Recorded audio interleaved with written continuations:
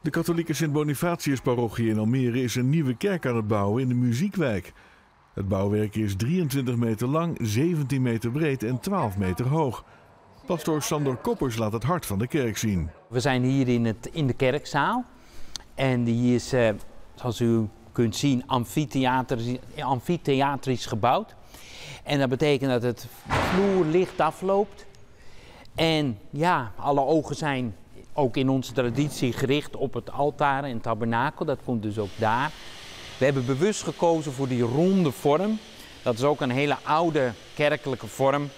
De apsis. En ja, dat was vroeger had dat het uh, functie van geluidswerend. Maar het is vooral natuurlijk eigenlijk mooi. Dus die wilden we bijzonder graag uh, in het ontwerp uh, terugzien. Nu houdt de Sint-Bonifatius parochie in kerkcentrum De Lichtboog in Almere. De lichtboog wordt gedeeld met de protestantse gemeente.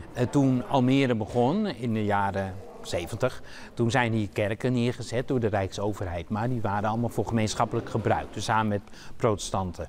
En dat is eigenlijk altijd prima gegaan. Maar binnen de eigen parochiegemeenschap ontstond wel een verlangen naar meer eigenheid. Naar meer een eigen beeldtaal. De katholieke kerken hebben natuurlijk heel veel beeldtaal. Dus in de vorm van beelden, schilderijen.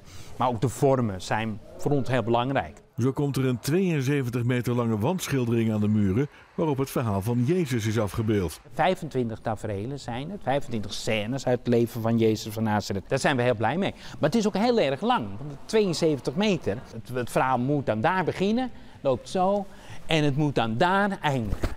Naast de kerkzaal komt er nog een grote ontmoetingsruimte. Het is opmerkelijk dat er een hele nieuwe kerk komt.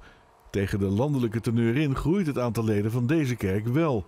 De belangrijkste aanwas komt van allochtone Nederlanders. De katholieke kerk is echt een wereldkerk, een universele kerk noemen we dat. En dat betekent dat in alle landen van de wereld katholieken wonen. Maar overal is de liturgie hetzelfde. Dus ze kunnen ook zo aanhaken. Dus mensen uit Afrika, uit Azië, uit Latijns-Amerika, uit Oost-Europa, uit Zuid-Europa... kunnen eigenlijk gewoon aanhaken. En dat is het mooie. De nieuwe kerk kost 2,5 miljoen en dat wordt betaald door het bisdom.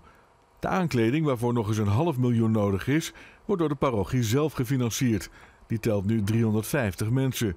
Al die mensen kunnen in de kerk terecht, maar doordat er door de coronacrisis anderhalve meter afstand van elkaar moet worden gehouden, zal dat niet allemaal samengaan.